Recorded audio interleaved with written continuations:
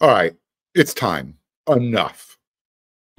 You are Locked On Trojans, your daily podcast on the USC Trojans, part of the Locked On Podcast Network. Your team every day.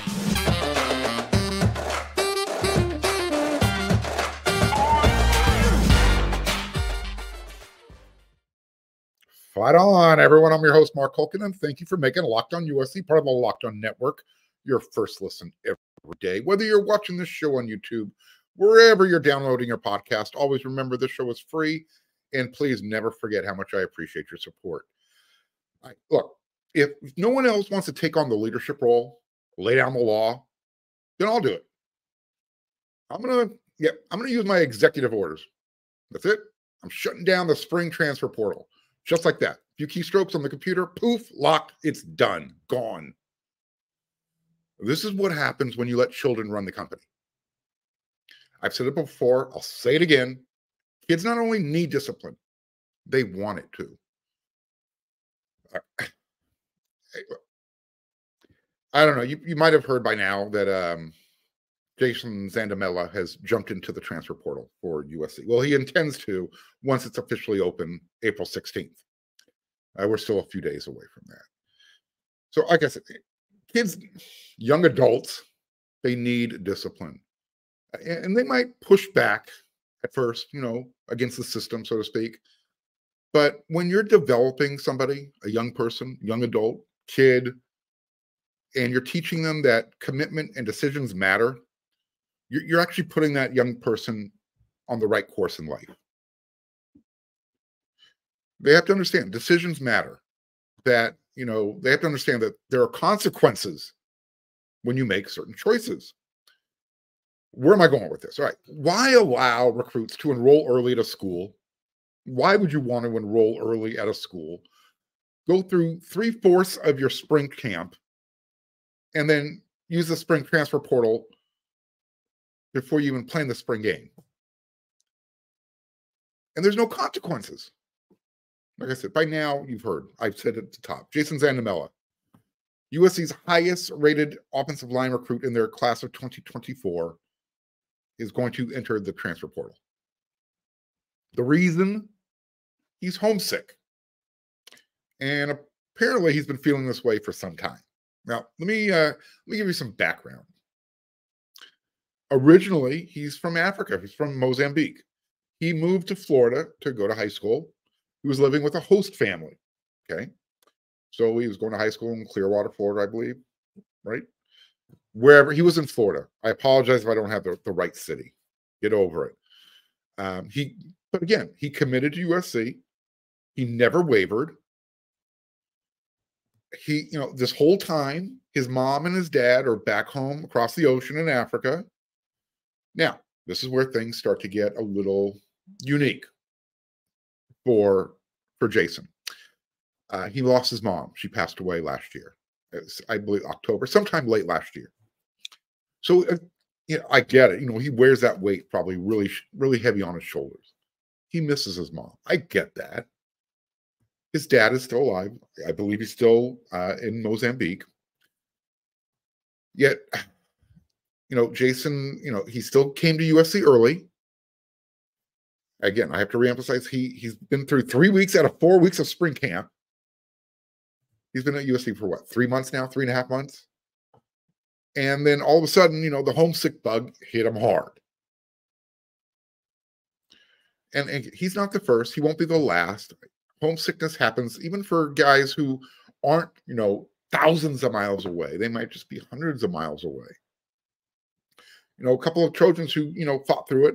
Mike Williams, Dwayne Jarrett, they found a way. I was talking with a source before the show and um, who said that Jason's high school coach has been telling him, stay. Just stay at USC. You'll be fine. Trust me on this. It'll pass and you'll be glad you stuck it out. And he told Jason this more than once. It's been an ongoing struggle, apparently. So, for those of you who might not like my opinion on this matter, thinking, "Oh, yeah, take it easy. He's just a kid." All right, let's uh let's let's get someone's opinion who has some skin in the game. Let's uh let's let's listen to a former Trojan player, Dion Bailey. You know, the context that of his comment was, you know, fans begging Jason to transfer to their school since he's made it known that he's going to be leaving USC. So Dion, Dion jumped in to the uh, conversation. Quote, you want a kid who left another school after only competing in the spring? Imagine if he quit on your team during the season. I don't comment on the transferring anymore, but after spring, not a good look. End of the quote. So now you have Jason's high school coach, you have a former Trojan player, and me all saying the same thing, maybe saying it a little bit differently, but we're all saying the same thing. Speaking of begging, you know, Coach Riley, um, he had one hell of a quote after Thursday's practice on the topic of um, it was on the topic of trying to coach during the transfer transfer portal era. This is what he said. I mean, this is USC. You're not going to beg people to be here. For every guy that leaves here, there's going to be a line of 100 people that would die to take that spot in a heartbeat. End quote. He is right, 100% right. For every 100 people, he's 1% right. Look, US, and I know this is going to come off a little hypocritical, but I'll I'll close it off with this. USC is going to snatch, uh, they're going to grab a few guys out of the transfer portal this spring when it opens, and because they kind of have to. But that again, that does not change my opinion. Um, it doesn't change my opinion that we need to shut this down. The spring transfer portal does not help anybody. Lock it up. Throw away the key. Pretend it never happened. And don't give me the the coaches, you know, leave all the time clap back. And let me tell you why that that excuse doesn't work anymore. Head coaches aren't leaving their programs during the middle of spring camp to go to another school. You know, they might leave to go to the NFL. So, in those rare cases when a coach does pick up and leave, there are some severe financial penalties somebody's paying. Look, these the way these young adults, these kids, the way they they just move around with impunity right now. There's no regard for anyone but themselves. When I say that, they're not thinking about teammates anymore. They're not thinking about what it means to be committed, to work through adversity. By the way, uh, I think my not so subtle uh, clue about Bear Alexander and uh, his, I'm using finger quotes, LenDale White approach to practice got some verification.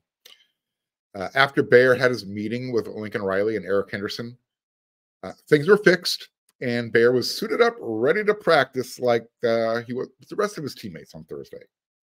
So tell me you're holding out without telling me you were holding out. Now, I'm not saying that was Bear's idea. I'm just saying. It was kind of funny the way uh, Coach Riley kind of poo pooed Bear's situation uh, like he was Vinny Barbarino. If you're old enough to remember Welcome Back Kotter, Vinny Barbarino, John Travolta's role, what? What? I don't know. What are you talking about? Um, he was asked about the conversations, uh, how how the conversations went with Bear this week, and uh, Lincoln Riley was like, like any other week, conversations haven't changed. If you see his body language, you can see he was trying to play naive. It was cute. He was protecting his guys. You got to respect him for that. I respect him for that. He answered the question the way a head coach should. He's not going to put his players out there. He said, if anything, um, Bear's frustration has been with uh, his health and not being able to go 100%. So apparently it's a miracle. He's healed. He's ready to practice on Thursday. On an unrelated matter, but it is NIL related. Uh, these young adults, I just want to throw this in here before we close out this segment. They're starting to really tick me off. Well, not me. Let me rephrase it. They're starting to, and I they're, they're ticking me off, but I don't have any financial investment in this. So who they're really ticking off are the guys who are supplying them with those free rides. who are paying for those free rides that they drive around in. When someone decides to jump into the transfer portal after driving around in a car for you know, three to six months, I'm not talking about Jason Zandamela. I want to get that, I want to make that perfectly clear. But this was brought to my attention. Uh, that lease that those players get to drive around in, it's prepaid for all at once in advance. So when that car gets turned in early, that's thousands of dollars down the drain, money wasted. So when you're asking, you know, people to step up and invest in NIL, look, don't take advantage of it. I hate repeating myself. Um, and as many times as I have recently, the, these kids, finger quote, these young adults, these recruits, they're going to kill the golden goose. Don't take advantage of this too long. Don't look, don't look a gift horse in the mouth. You're getting something right now. Like I said, you wanted to get paid, you're getting paid. Don't take advantage of this because that money's going to walk away. And all of a sudden you're going to say, Where did it go?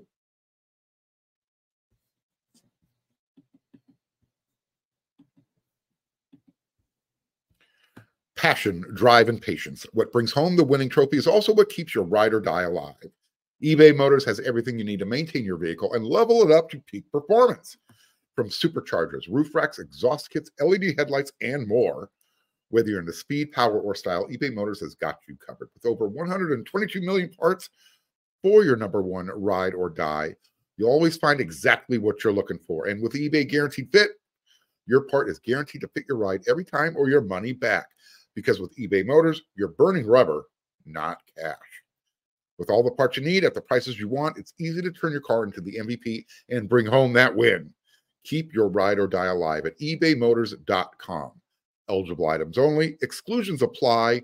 eBay guaranteed fit only available to U.S. customers. Are you uh, watching Fox Sports or ESPN on your TV all day, turning down the volume because everyone's shouting at you? Make the switch to Locked On Sports today. It's a free 24 7 sports streaming channel programmed for you every day to bring you the biggest sports stories without all the screaming. Locked On Sports Today brings you can't miss analysis, opinions, and news streaming 24 7 on YouTube or the free Amazon Fire TV channels app, part of the Locked On Podcast Network, your team every day. So, following Thursday's practice, Coach Riley spoke with the media and he was not holding back. We're going to talk about the defensive line in this segment, but uh, it he he got it started, and it, he was talking about the defensive line, but um, he, he was uh he yeah he was holding nothing back, pretty candid with his with his words. So maybe some of it was to reassure the fan base and himself that everything's going to be all right. But I think most of what he said was actually based in reality, and he was just speaking the truth. And sometimes the truth hurts. So coach kind of had that I don't give two ships, not yes, I said with a P like Paul attitude when he said, um, Jason wasn't a factor to play this year for us. A good young player, but it's a long ways away from being ready to help us. Jonah and Killian are just way ahead. In fact, he said just way, way ahead. So there it is. That's the harsh reality. Who knows? Maybe Jason uh, and we're talking about Jason Zandamela. Maybe he thought he uh, should be ahead of a preferred walk on like Killian O'Connor.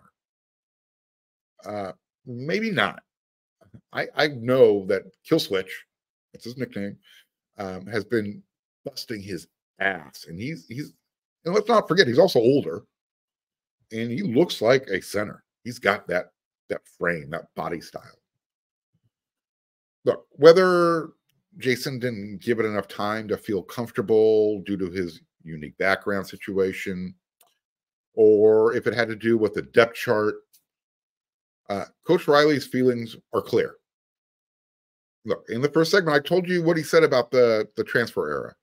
I mean, this is USC. You're not going to beg people to be here. For every guy that leaves, there's going to be a line of 100 people that would die to take that spot in a heartbeat. End quote. So when Coach Riley was asked about where Bear needs to improve, uh, he was also very candid. Like all these guys, he's learning a new system and obviously playing the position differently than he than we did a year ago. So he's going to have to adapt and learn like all the other defensive linemen are. And then I think individually, it's a battle of consistency. There's flashes of being a, a really good player, but with the great ones, it's less flash and more consistency. And he certainly has that ability. The other area we've challenged him to grow is to continue from the leadership side. He's got a great heart. He's really more invested in this team than at any point last year. He doesn't want to be a really good player. He wants to leave a mark on this place. End the quote. All right. The first part, playing the position differently. Remember when I told you one of the during one of the practice reports about how uh, Coach Josh Henson said the defensive line guys are playing through the offensive linemen, putting their hands on them, playing through them. Well, there you go more physical, making the making them better. That's what Coach Riley was talking about right there. So all the guys are trying to get that that Grinch system taste out of their mouths, so to speak. Individually, consistency though comes from practice. And I also love that last part of it. That last part of the quote, oh, great. That he wants to leave a mark on USC. Right. No more talk, walk the walk. Let's find out. Shaun Nua, Coach Shaun Nua, he dropped a couple of nice little nuggets. Uh, he talked to the media after practice when he was asked about where Anthony Lucas fits in. Okay, number one, Lucas is playing with a chip on his shoulder. Uh, he apparently he, he's hearing the outside chatter. He's not happy with the way he played last year as a sophomore. So he's still a young guy and he's ready to bring it, according to Coach Shaun Nua. A second thing that coach said about him uh, that he can play either inside or outside. And he he brought that up because he was asked who's the most you know versatile guy in your defensive line room, and he brought up Anthony Lucas's name.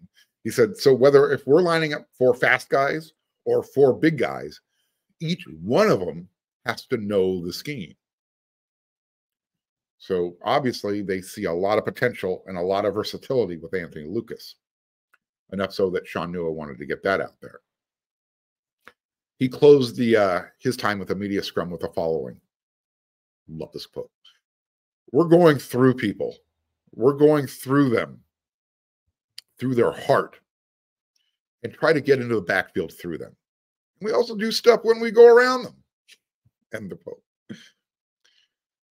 So right there, that part where anytime you're talking about going through somebody's heart, you got my attention. That's why I liked when Vic, uh, Coach Vic So'oto was USC's defensive line coach. He talked about playing with violent hands. It's there's certain things that you want from your defensive line coach. There's certain language that they use. I love the language defensive line coaches use. They could talk like that to me all day long.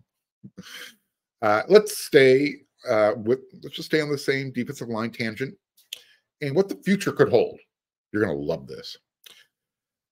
Uh, the name is Jahkeem Stewart. He is considered the number one player in the class of 2026. He's a defensive line guy, can't miss. I've mentioned his name before. He's from New Orleans. So was Eric Henderson, USC's defensive line coach.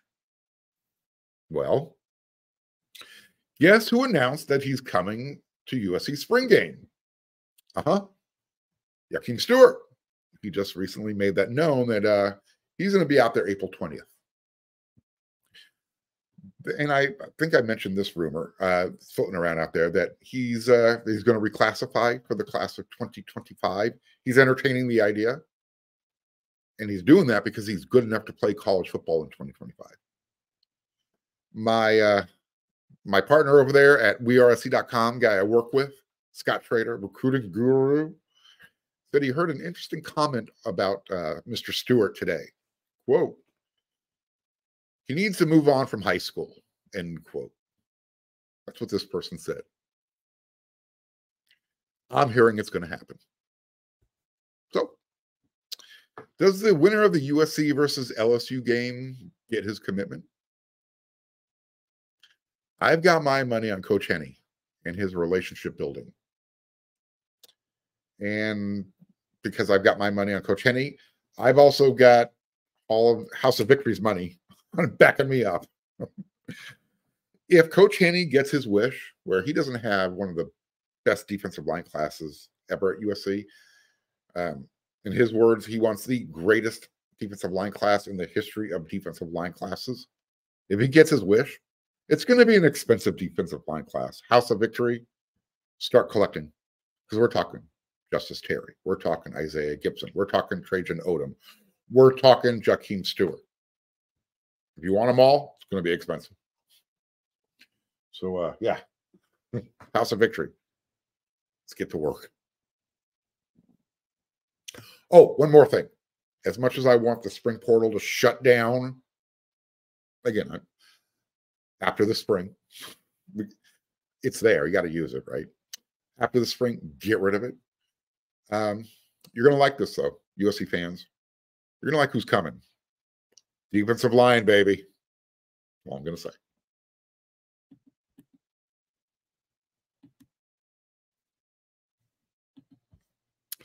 With killer last minute deals, all in prices, views from your seat, and their best price guarantee. Game time takes the guesswork out of buying tickets. See the views from your seat before you buy so you know exactly what to expect when you arrive. All in prices show you your total upfront, and that way you're going to you're going to know you're getting a great deal before you even check out. You can buy your tickets in seconds. It's that fast. Trojan fans, I just talked about it. Do you have your tickets to the uh, game for Vegas? All right. Well, Game Time has deals on tickets right up to the start of the event and even an hour after it starts. It's the place to find last minute seats. And the game time guarantee means you'll always get the best price. And if you find tickets in the same section and row for less, game time will credit you 110% of the difference. Take the guesswork out of buying tickets with game time.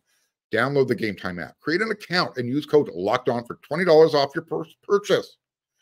Terms apply. Again, create an account and redeem code locked on for $20 off. Download game time today. Last minute tickets, lowest price guaranteed.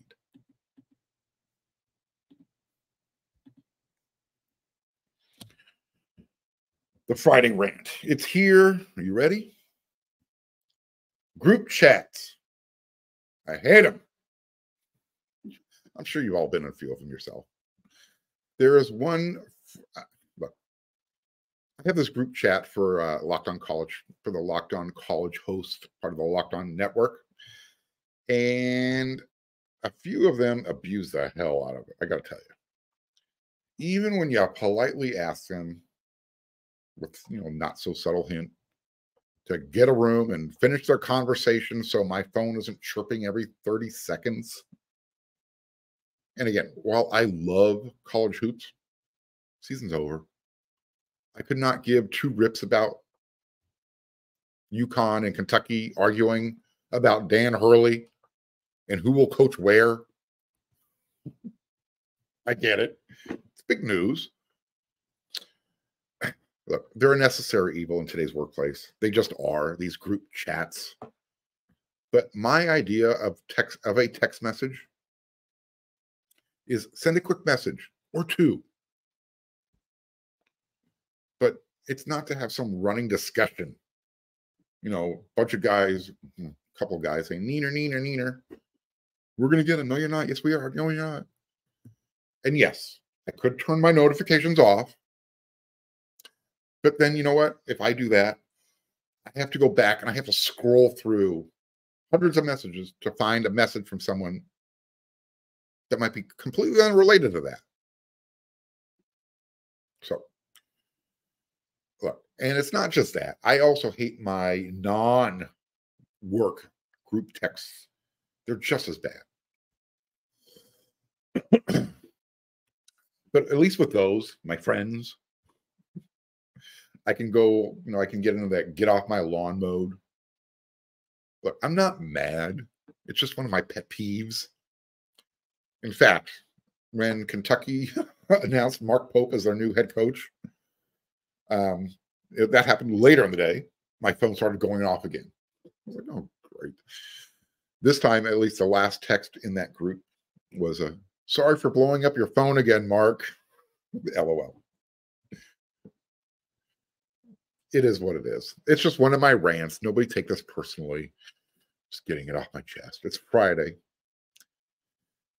Something else we got to talk about before we get out of here for this uh for this week. OJ Simpson, dead at the age of 76. Uh, I'm old enough to remember watching him play in the NFL, and that was at the end of his career. Um, but I look, I remember those Hertz commercials, Monday Night Football, Love Boat cameos, movies that he. I mean, OJ Simpson before Michael Jordan, it was OJ Simpson. He was the guy. But man, whew, behind the camera, the camera was off, it was a bad dude with some bad demons. The most I can say is what he did on the football field was unreal. 2,000 yards in 14 games, crazy. Heisman winner at USC. And after that, not someone you want to talk about at the dinner table. I offer my condolences to his kids, his, you know, to any living family. Hopefully, they can uh, move on now. You obviously have a little bit of empathy and sympathy in your in your heart for for Nicole Brown and, and for Ron Goldman and their and their families. But as far as that, I know USC released a statement Lincoln Riley was asked the question after practice. Awkward moment. You got to ask the question. Got to get it out there, get it out of the way. But that chapter is hopefully closed. Close the book, throw it away, bury it. It's over with now, right? All right. You know what else is over? This episode of Locked on USC and another week of Locked on USC. I hope you enjoyed it. If you did, become a subscriber Smash that thumbs up if you're watching on YouTube. Don't forget to hit that bell notification button. And I'll be back next week with another five episodes. And we're we're uh, we're into the preview week of the spring huddle. So a lot to talk about. So until then, everyone, you know what to do.